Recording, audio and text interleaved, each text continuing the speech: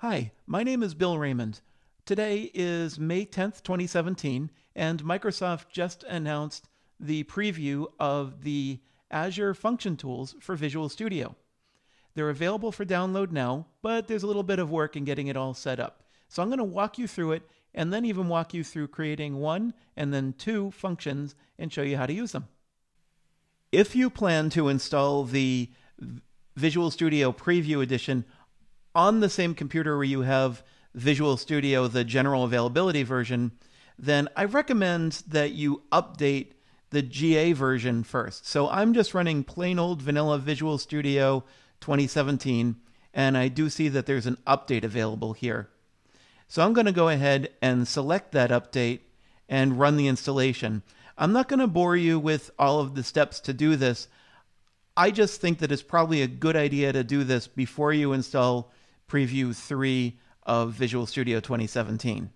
So I'll go ahead and make all the updates and then we will come back after that.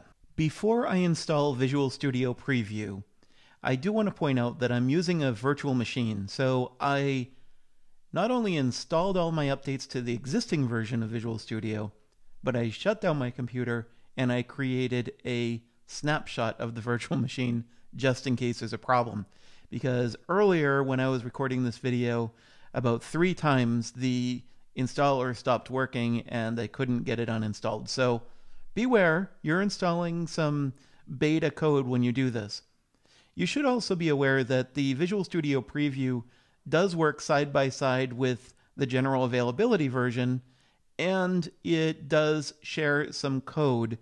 Technically, when you install this, you should not be installing everything. You'll just be installing a big part of Visual Studio Preview, and then they'll both share the code. So, what I'd suggest you do is select the version that you have for the GA version. So, you don't, for example, download Enterprise just for your um, product to not work because you have a professional version of the GA version. Okay, so let's go ahead and download the professional.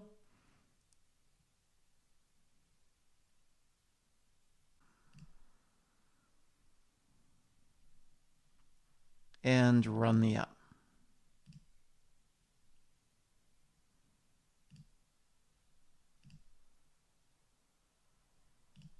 Very often when you install this, you're going to, you're going to need to update the installer first, so we'll do that.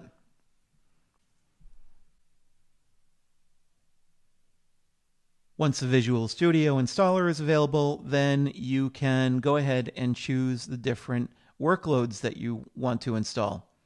You will, for functions, you will at least have to select ASP.NET and Web Development or Azure Development. You can select others, but you need to pick one of these two in order to get the functions capability.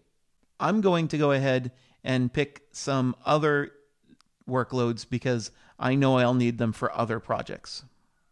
Once you've selected everything you need, click the Install button. Once the installation is complete, you can go ahead and close this window. Now, the next thing you're going to want to do is download the Azure Function Tools for Visual Studio 2017. These work with Preview 3 of Visual Studio 2017, but you don't actually get them without installing it first. So go ahead and download this file to your desktop and run the setup program. It's pretty straightforward. I'm not going to walk through it here. Once you have the preview installed and you also have the uh, Azure tools installed, you can go ahead and run Visual Studio Preview. Just a quick note, I go to the start menu and I didn't see it here listed anywhere in the start bar. It has only the Visual Studio installer and Visual Studio 2017. I really couldn't find the preview version. So I noticed that if I come to the start menu and I just type Visual Studio, notice that the Preview 2 app is here. Sometimes that didn't even show up, so I had to type the word preview and that shows up here uh, as a desktop app. So anyway, just in case you're worried about that, trying to find it, you might have to do a little searching for it in the start menu. So when you run it the first time, it's going to set everything up for Visual Studio. I already ran it once, so you didn't see that screen, but Now you're up and running and you're using the preview version. And you can see up here at the top it says preview, so they're making it really clear. And also look at the icon over here on the left. It has this sort of um, mock up style icon to it. I went ahead and right clicked on the icon down in the start menu and I chose pin to taskbar so I can easily access it so I don't have any issues accessing it in the future. To create your new function, you're going to go to the File menu, choose New, and choose Project. You can come here to Cloud and choose Azure Functions, or you can do what I do, which is to come to the search bar and just type function, and you'll see there's the Azure Functions. Right now it looks like they're only available for C Sharp. I'm just going to choose function 1 and I'll also create a Git repository and click OK. Once your project's set up, you actually do not have any functions in your application yet. What you've done is you've essentially created a placeholder for, for your functions. Because what you're going to do here is you're going to create any number of functions, and you can almost treat those like classes when you're creating helper helper classes in your own app. So I'm going to go ahead and right click here and choose add new item. And you can see Azure function is right here at the top. And once again, if you can't find it, just type Azure in the search box and you should be able to find the function there. And I'll click add. As you can see, there's a number of ways that you can trigger this function. I'm going to choose HTTP trigger and click create. As you can see in this trigger, it's basically going to do the equivalent of a hello world example here. Uh, if you come down to the bottom of the code, it says, please pass a name onto the query string. And you see here the uh, value is name. So we'll go ahead and try this out. I'll go ahead and run this app for the first time is going to ask if we need to if we want to install the Azure Function CLI tools, the command line interface tools. If you do not have these installed, then your function will not run. So go ahead and download and install them now.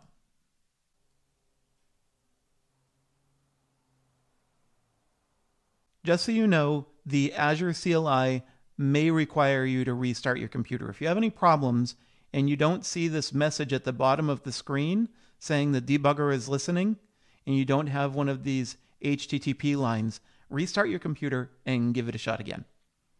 Now, I'm going to go ahead and choose this line here and copy it. I just press the Enter key. Now I'll go into a browser and I'll go ahead and paste that line in and see what happens. It says, please pass a name onto the query string. So I'll go ahead and do that. Question mark, name equal Bill. And you can see it's responding with hello Bill. So the function's working now. Now you might be wondering how we're going to do this if we have multiple functions. Well, what I'm going to do is exit here and create another function just so you can see how that works. I'll go add new item, choose the Azure function, It'll, call, it'll be called function 2 and add it. And this time I'm going to, instead of calling this blob trigger C sharp, oops, sorry, instead of calling it HTTP trigger C sharp, I'm just going to put a 2 at the end and create. Now let's go ahead and run this app. The other Azure Function CLI will run and you will get two URLs this time. Here's the first one we tested the, the first time, and now here's our second one. You can see it's labeled too. And we can just do the same exact thing. Just copy that, open up in a browser, and you get the same results. So you can have multiple functions, and as you create them, they're automatically going to show up as URLs. One other thing that I'm going to point out is that the URLs will tend to scroll up to the top here, and you're going to have to go find them again. The reason for that is the Azure Function CLI is going to tell you all the things that are happening. So it's showing that, for example, I made a request. Here's the authorization, was anonymous, and then the status messages and all that good stuff. So along the way, this is going to give you informative information. So I'll just leave here. So that's it. Now you have all the tools you need to start creating functions using the Visual Studio Preview 3 and Azure Function Tools for Visual Studio. Thank you for watching this video. Please press the like button if this was a useful video for you, and please subscribe to our channel. It's really helpful for us if you're looking for more videos. Thank you.